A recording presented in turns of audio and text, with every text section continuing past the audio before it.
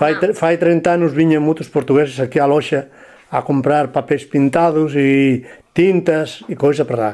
Entonces, todos querían pagar en cheque e nos o trocar o cheque con o perdíamos diñeiro, o, tro, o dir o banco perdíamos moito diñeiro.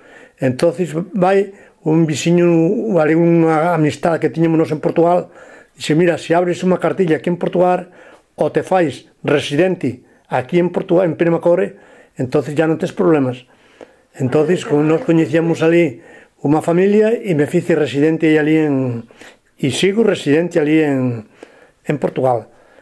Entonces ya os cheques íbamos a Caixa General de Depósitos e ya non tiñamos que pagar nada. Entonces, pues vai pescó e me fixeron unha, fixeron unha cartilla e ya os cheques todos cambiamos, ya non me desquitaban nada, me pagaban todo íntegramente. Uh -huh. E, e despois, pois aí tiña unha ventaja grande, con ser residente ali, eh, no ayuntamento, unha cámara ali de, por, de Penamacor, había unha señora que era juez e foi a que me arregló todo, sin pagar nada, ela me, me arregló todas as coisas. E aí tiña unha ventaja aí, cando estaba a fronteira cerrada, aí como era residente, e, e aquí na Cámara de Valverde, se aí solicitaba 15 días antes, cando había eleccións, aí podía, podía votar en Portugal para as municipais, non para as generais. Falan estás falando portugués?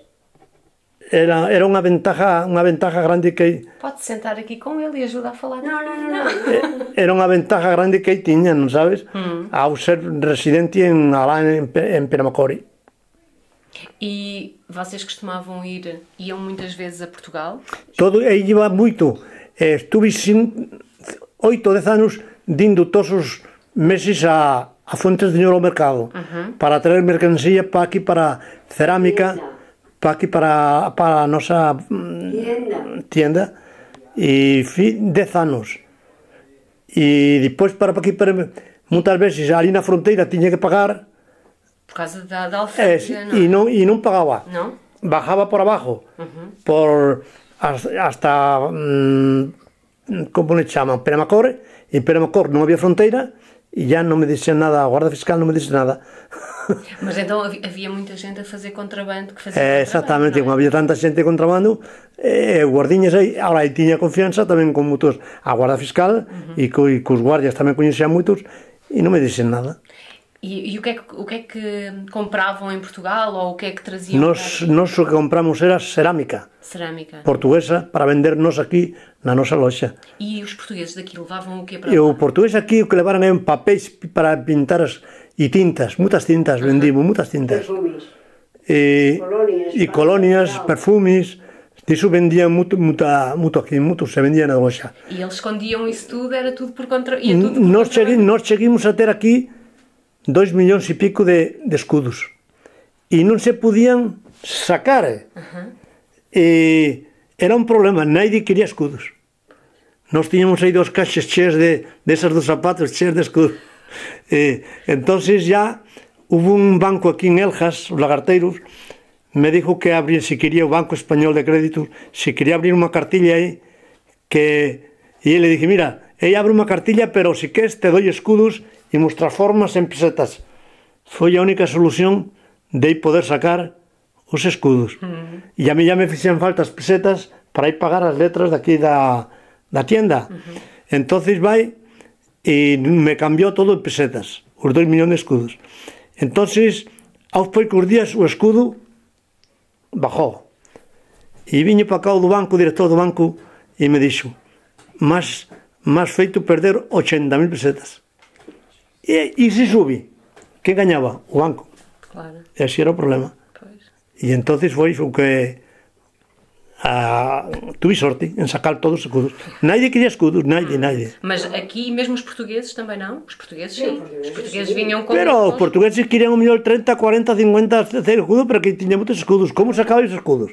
E iba lá e pagaba a Fuentes de Ñoro gastaba 300, 400, 1000 dos- o 2000 ou 3000 escudos, pero que tiña moitos escudos. Que Ese- moito portugués. Ese era o problema. Hum.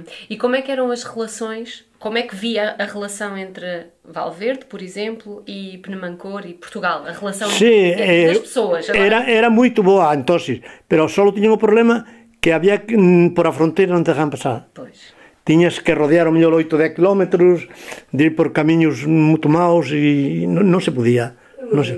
Mas iam para lá as festas, por exemplo? É, sim, sí, para é. festas abriam a, abriam a fronteira. Uhum. E então as festas todas aqui perto de Peramacor e, e o Fundón e esses sítios todos se podia ir porque non había problemas nenhum.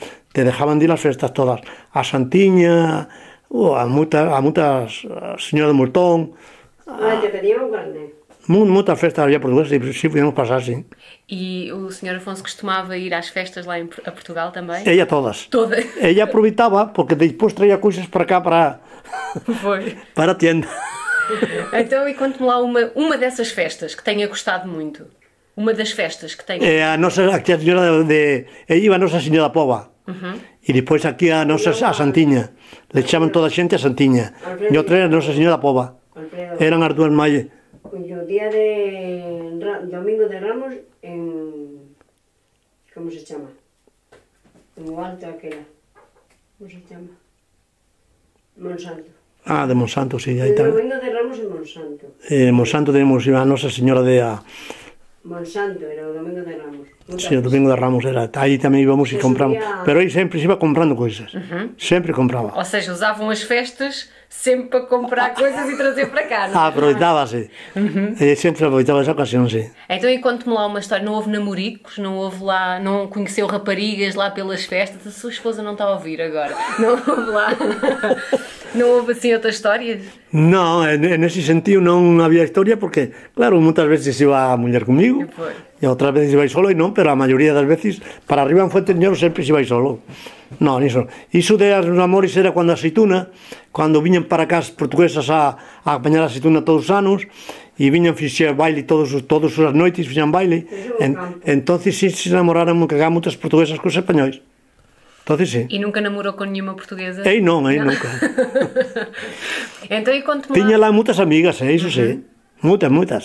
Então, as relações entre Valverde e as, as terras aqui à volta e Portugal eram boas relações. Sí, sí, sí, era estupendamente, naquel entonces sí.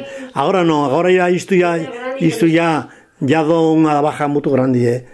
Despois de os, de os escudos para cá aos euros ya bajou moito, moita coisa. E como é que continuam agora? As, como é que são agora as relações com Portugal? No, as relacións son boas porque as festas vamos lá todas. Aí hai festas que a mí me dixo unha vez o cura, o padre, como le chamáis vos, é o cura, o padre, non sei. aí da Santiña, dijo que na, que na capela un 98%, un 98% dos españoles non entraban a capela. E, sin embargo, un 98% dos españoles si entraban a capela. Dos portugueses. Un 98% si entraban a capela. A, ver, a ver a Santiña. Pero os españoles só iban un negocio. Oh, pois. Non iban a A Belo Santo nem há nada disso. E o que é que falava quando iam ou quando vão a Portugal? Que língua é que vocês falam? Fé, nós como agora o que podíamos, o, o que podia falar algo portugués, falaba portugués, claro. pero o demais era, pero o que pasa é que estes pueblos aquí entenden todo xa chapurrado, eh? Uh -huh. o fa, como falamos nós, a maioría, o Fundón, Penamacore, Aldea do Bispo, o Salvador, e teño amigos, muitos amigos de, como se foran de familia no Salvador. Uh -huh. Sí. E, e falavam chapurral? Tá, falaban igual chapurrado, como o entenden completamente, sí. Uhum. Nunca usaram castelhano quando iam para lá? Ou- No, no, no, no. A prueba tes que aí no Salvador, nas festas do Salvador, venen conjuntos españoles a tocar aí para o baile e para todo. Pero conjuntos, pero moito vos, eh? Venen aí non sei onde sacan o dinheiro para pagar, pero venen aí moitos, moitos conjuntos mm, españoles aí a tocar, sí. Então e agora estamos a falar. Estuve en Hamburgo. Estuve lá tres anos e iba temporar nove meses por, por ano. E Ia fazer o quê? E trababa nos viveiros, uh -huh. disto dos árboles. Tamén traballei unha temporada nunha barbería, pero depois ya... Non, porque depois ya estaba aquí con o crío e Foi cando saquei as perras para fitar a casa esta, pois ya me viñi para cá. Uma coisa que não me contaram, quando é que vocês uh, fizeram aqui a, a, a tienda? Uh, no ano 1000... Mil... Pois 971. A casa. A casa 1971. A casa é aquí ya, por cima. Uh -huh. Aquí para lá. Casa por cima. E pois ya fito a barbería. Primeiro estuvo con seis irmãos, depois ya se fito a barbería aquí. E depois ya... E depois sabes que estuve con mano de medias e dicen que as medias en Portugal, non sei, que, que pican nas patas. Pican as patas. Acá en Portugal non dicen iso. Eu acho que non. Que te explique aquela la que a media nada, ¿no? Que... E, mas aqui depois quando deixou de viver da barbearia ou viviam da barbearia não, não. e da, da vivíamos da, da barbearia. Só da barbearia. Ah, só da barbearia. Ah, não existia a tienda. A tienda pusimos já eh, pois fará 40 mais não 40 anos não menos. Não sim sí. sim sí, cerca de 40 anos, anos. Pois estuvo estaba de alta de la barbería y de la tienda. Y ella estaba dado de colaboradora. Pagaba igual que él para poder después reformarme. Cuando, Claro. Bueno, hacía que 65 no, años, po- él no tener dos negocios. Ai. Porque un da tienda e a pagar. E o que é que vocês vendem aqui na. Pues en la tienda vendemos pintura, empezando por la pintura, mucha pintura vendimos. Y vendíamos más ainda, porque se vendía para Portugal a tira. Eh, luego ya vendemos eh, tintas de esmaltes, barnices, eh, loiza, produtos de limpieza, mutus, artículos de regalo mutus vendíamos e logo tamén, bueno, se sigue vendendo algo. Tem artigos de cozinha também? Eh? Artigos para a, para a cozinha? Non, non, non, no. Solo drogaria e perfumería. Ok. E logo perfumes mutus. Uhum. Se vende. Iso ainda se segue vendendo mutus. Agora estamos fidendo o pedido do, de Noite Boa. Uhum. A vossa casa tem. É uma casa grande, pequena? Como é É grande, demasiado grande. É E demasiado outra ainda máis grande. Que é para, para limpar, depois custa muito, não é? Quantas divisões têm? Pois teño, arriba teño tres cuartos. Uhum. E Que, bueno, tres habitacións. Mas como é que se diz em Chaparral? Quartos ou habitação? Non, non, habitacións, é que dito cuartos por Portugal. eh, porque sei moito portugués. Eh, tres habitacións. E logo tres, non cuatro, tres dormitorios.